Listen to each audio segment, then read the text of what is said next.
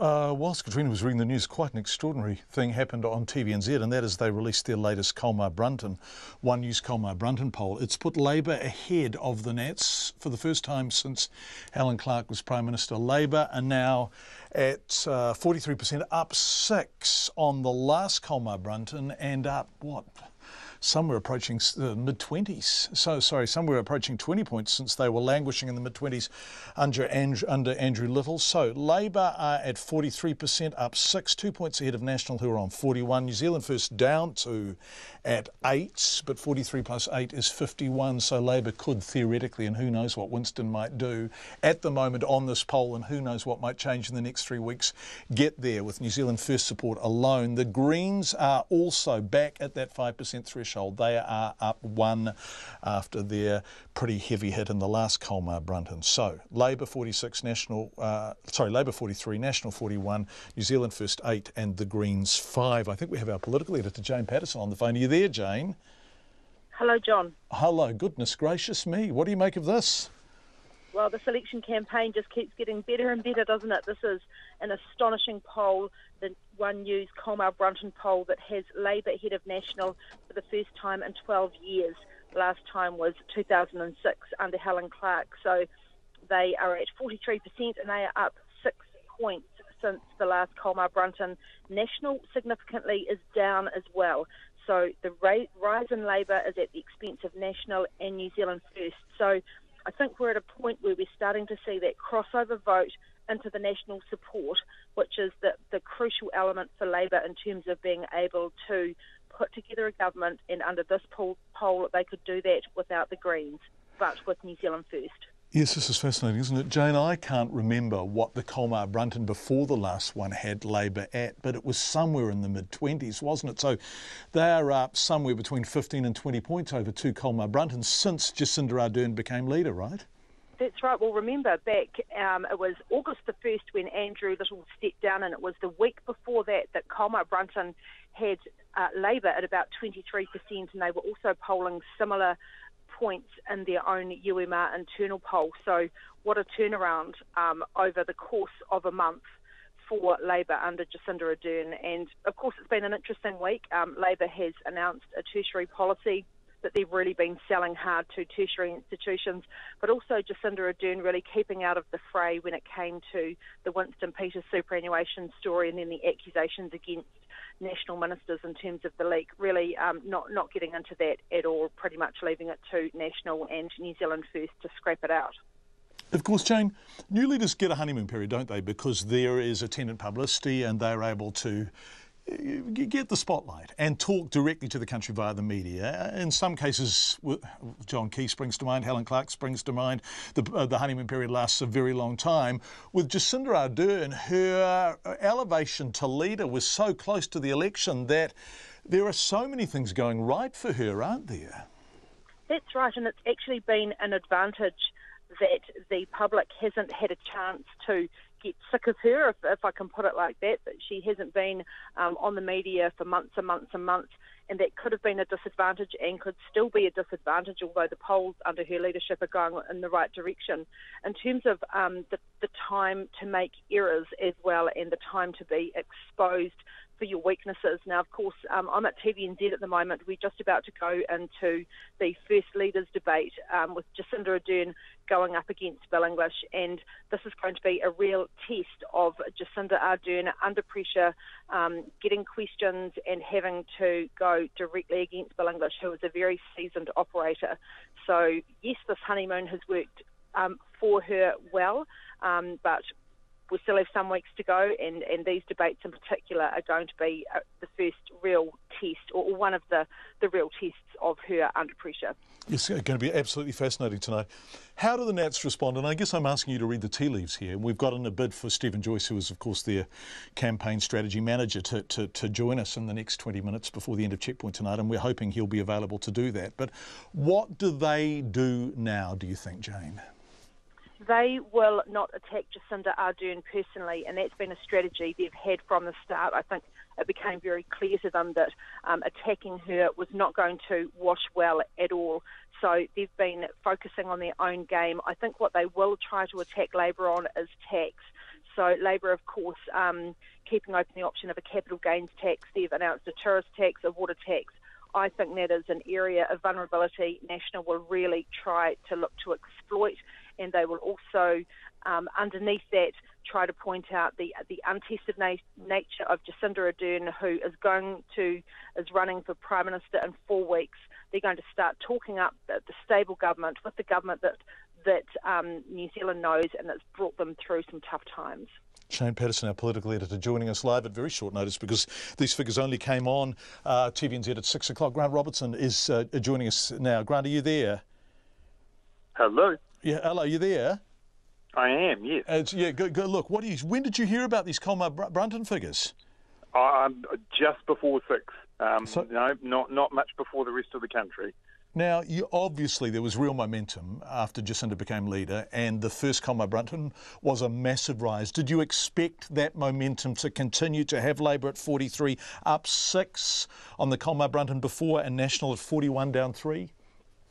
Oh, look, you know, it's it's clear to anybody, I think, who's out campaigning that, that you know, Jacinda and, and the party are really connecting with people um, in a way that we we haven't for some time.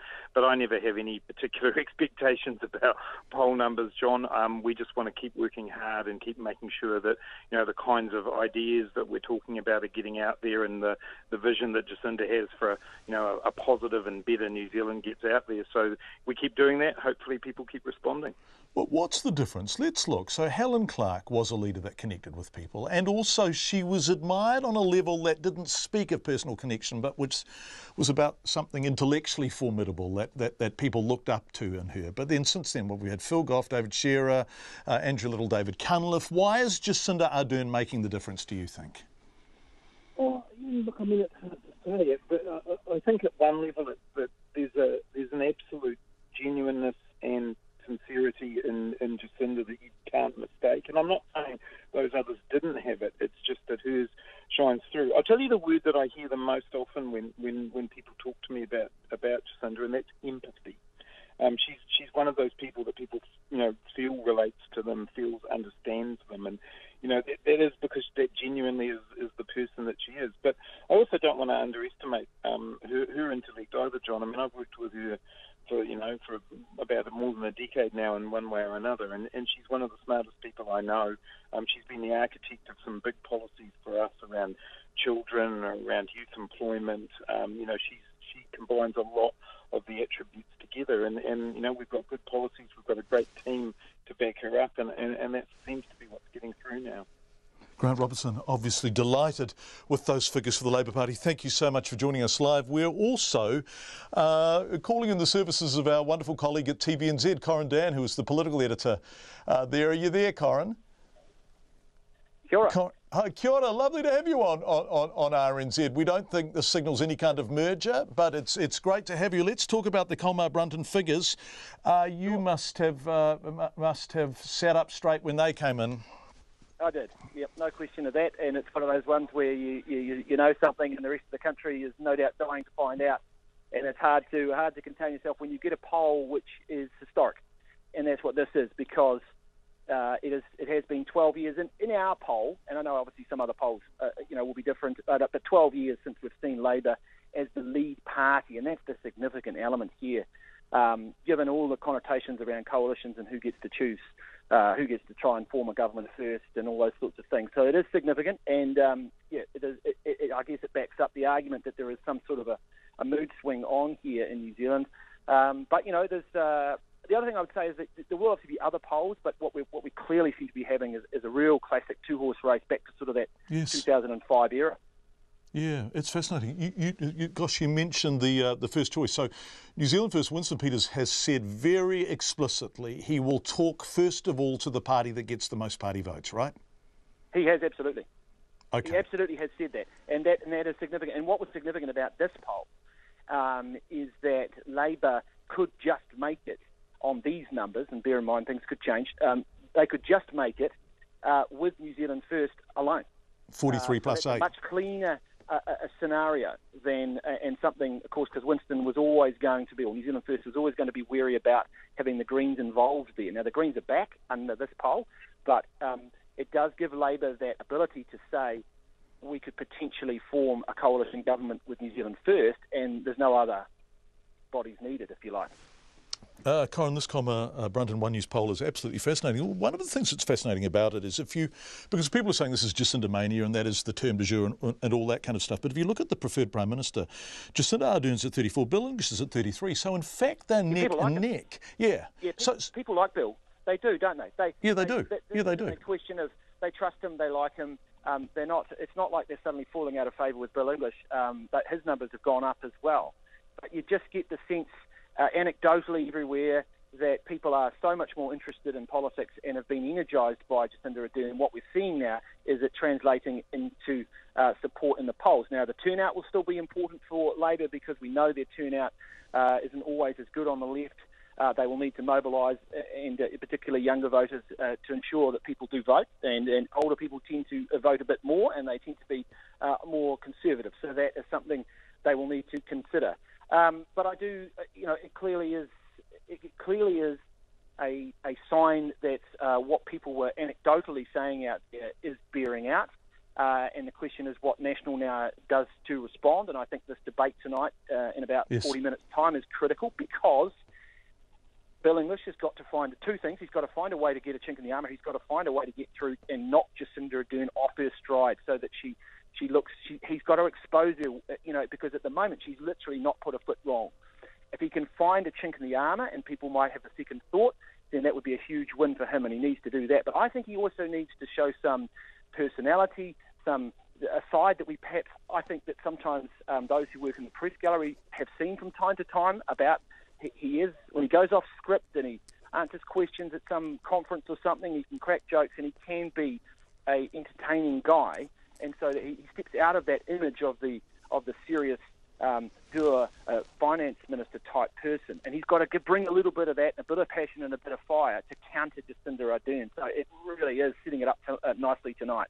Yeah, it's going to be a fascinating debate. Corin Dann, political editor for One News. Thank you so much for joining us, Corin. It's a fascinating poll, and we uh, appreciate your take on it. Let's go for a big picture look at this with uh, the University of Auckland political scientist Raymond Miller, with whom I've done many election nights and discussed many campaigns. Raymond, are you there? Yes, how are you, John? yeah, good. It's lovely to talk to you again. You must have been sitting there thinking, "Holy moly!" When these figures, when you got these figures, I saw you in the story. So you've you've known them and been keeping them a secret for a couple of hours. Yes, yes, I've been. I haven't even shared them with the dog. Right.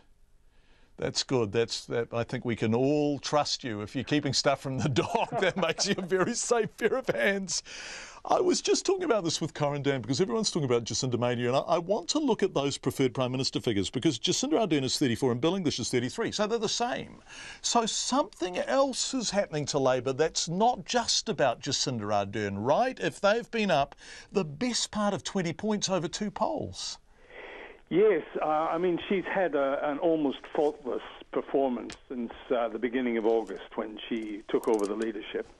So, I mean, I do think that uh, personality and presentational skills have been uh, very important in the rise of Labour. But it's amazing how initial success builds a certain, certain momentum.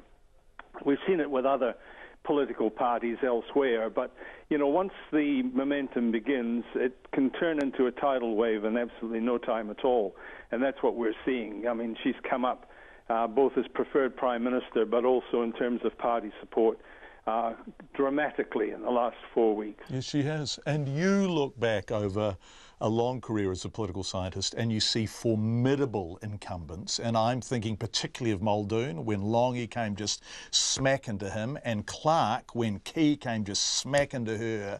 Suddenly, people who have looked impervious to any kind of opposition begin to look vulnerable, don't they? That's true. And, and I think what happened in both those examples you give um, uh, is that you know people to begin to tire of a government after it's been in power for my goodness, it's it's uh, nearly 50 years since we had a four-term government. Yeah.